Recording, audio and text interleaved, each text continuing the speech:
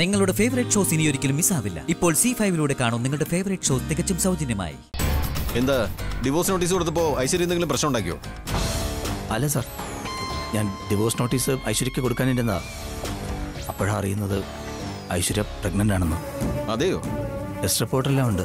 പ്രഗ്നന്റാ ഇനിയിപ്പോ എന്താ ചെയ്യേണ്ടതെന്ന് എനിക്കറിയില്ല. ഡൗൺലോഡ് ചെയ്യൂ സി ഫൈവ് ആപ്പ് കാണൂ എല്ലാ എപ്പിസോഡുകളും സൗജന്യമായി.